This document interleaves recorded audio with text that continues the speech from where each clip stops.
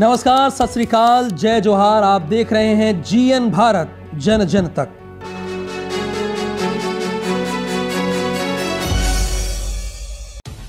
लोहरदगा के सुकेश उराव का चयन संतोष ट्रॉफी के लिए झारखंड राज्य टीम में हो गया है।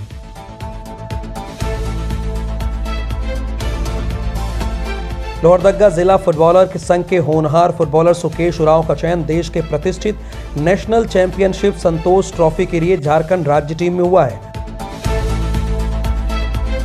Sukesh Oraon all India football federation KCRS के अंतर्गत लोहरदग्गा जिला फुटबॉल संघ के registered club new sports Kairo से रजिस्टर्ड है।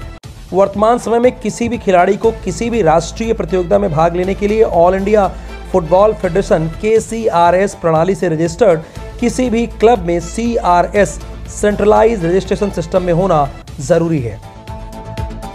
ये पहला मौका है कि लोहरदग्गा जिला का कोई खिलाड़ी संतोष ट्रॉफी जैसे प्रतिष्ठित नेशनल चैंपियनशिप में झारखंड का प्रतिनिधित्व करेगा।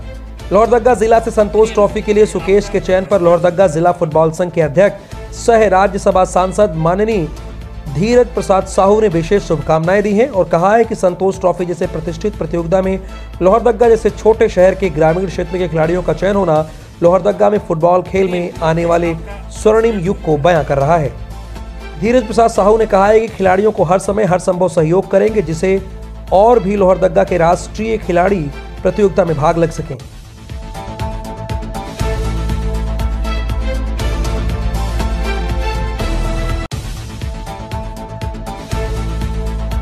आइए जानते हैं उनकी माता कर्मी उराव ने क्या कहा बेटे के चयन पर।